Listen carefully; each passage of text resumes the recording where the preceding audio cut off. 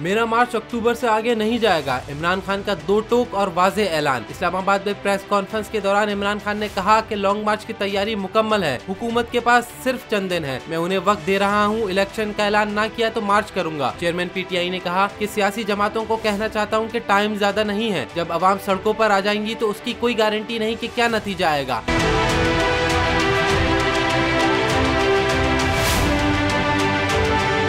इमरान खान ने हुकूमत को खबरदार कर दिया, कहा कि अब भी कहता हूँ, इलेक्शन का ऐलान करने का यही वक्त है। अगर इलेक्शन का ऐलान नहीं करेंगे तो मैं मार्च का ऐलान कर दूँगा। इमरान खान का कहना था की ये मुल्क को नहीं संभाल सकते, ये इलेक्शन ऐसी डरे हुए हैं। मैं टाइम दे रहा हूँ, हमने जलसे किए हैं, दिखा दिया है की अवाम किसके साथ खड़ी है। पीटीआई चेयरमैन ने कहा की मुल्क के मसाइल का एक ही हल है, वो है सिर्फ़ साफ़ और शफाफ इलेक्शन। जब तक सियासी इस्तेकाम नहीं आएगा, मीशत ठीक नहीं होगी।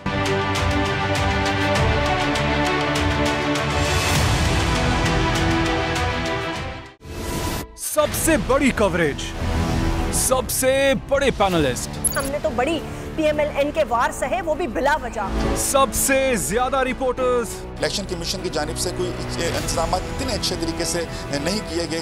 बोल की रिवायत सबसे पहला नतीजा।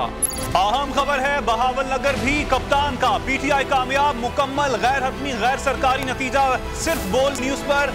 लम्हा बा लम्हा इलेक्शन की खबर सिर्फ़ बोल पर।